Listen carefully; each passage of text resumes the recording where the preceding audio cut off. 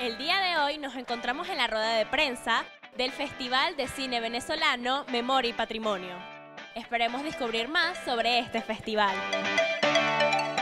Buenos días a las autoridades presentes, a los colegas y a los medios de televisión. Soy Denise Lozano, representando a Vive Televisión. Mis preguntas son las siguientes.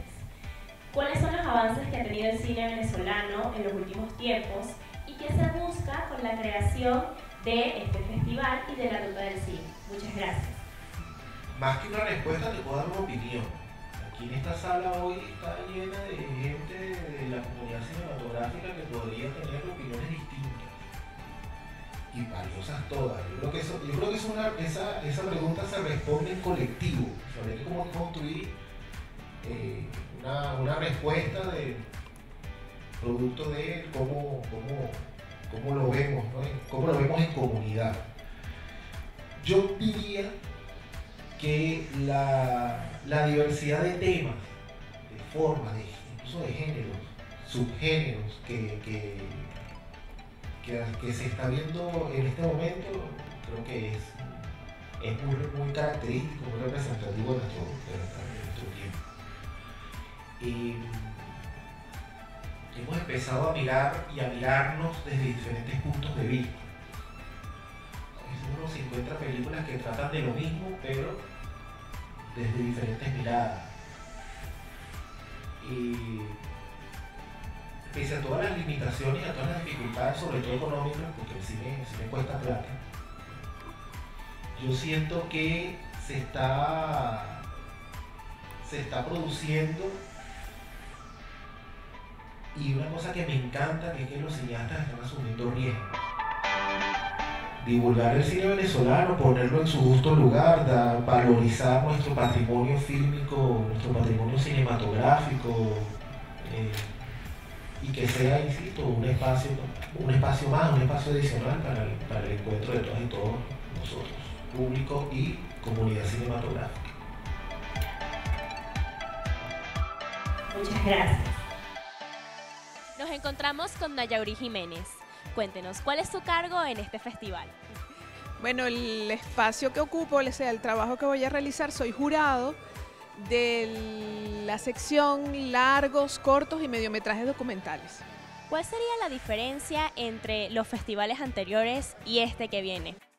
Bueno, esta es la primera edición de este festival. Está comenzando la Cinemateca Nacional, que es la ente encargada de preservar y guardar la memoria fílmica de la nación.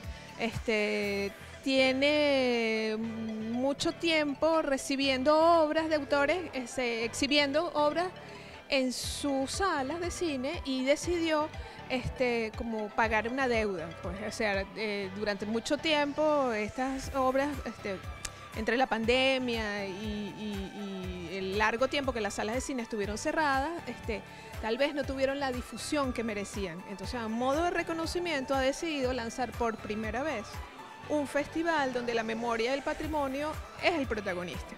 Este, yo soy guionista y como guionista voy a evaluar eh, el género documental que en Venezuela tal vez pasa un poco desapercibido, no tiene tantos espacios de exhibición. Y entonces, bueno, razón por la cual celebro enormemente que en esta oportunidad vayamos a disfrutar una vasta obra, una vasta muestra, eh, es impresionante la cantidad, tenemos unos 15 trabajos en, en el festival, en competencia.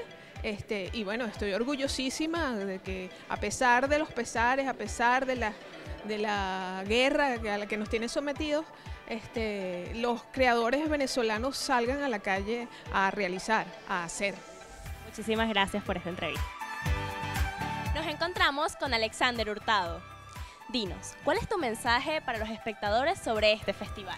Este festival ofrece un banquete audiovisual donde se reúnen el tributo a tres grandes cineastas de nuestra cinematografía nacional, como es el maestro Armando Arce, Gambito y la gran cineasta mujer Margovena Serraf. Yo creo que rendir tributo a estos grandes cineastas nos habla de un pasado lleno de muchas riquezas, de mucho patrimonio y también nos habla de un presente que estamos viviendo y con miras a que seamos protagonistas al futuro de esta cinematografía nacional. Muchísimas gracias.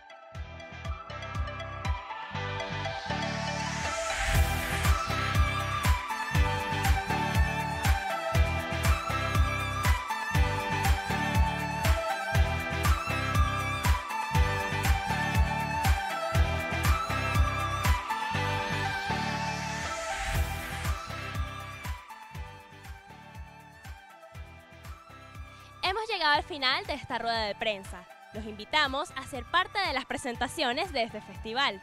Y no se olviden de seguirnos en nuestras redes sociales, en Instagram y en TikTok como arroba Oficial. Yo soy Denise Lozano y nos vemos en una próxima oportunidad.